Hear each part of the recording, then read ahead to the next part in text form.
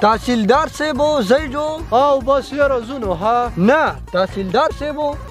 پټرول خو دا غستونه وتی دی خدا راتو چې تاسو راغلی پس کیای او بس زما سره سویک دی او د سره ګرند دی تاسو یې سکوای د ډن نه ډکوي مزي دی دا خو مونږ یو وروره جاړو نو شو یره وروره زمونږ هم دغه 50000 روپۍ تنخواه د میاشتې او پای کې چې حساب ولګای نو 25 30000 روپۍ پکې د پټرول لګي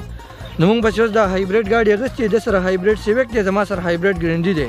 نو ځکه ته موږ داسې به خوشحاله وایو موږ خو په هغې سیونټي کې هم نشو ګرځېدی وروره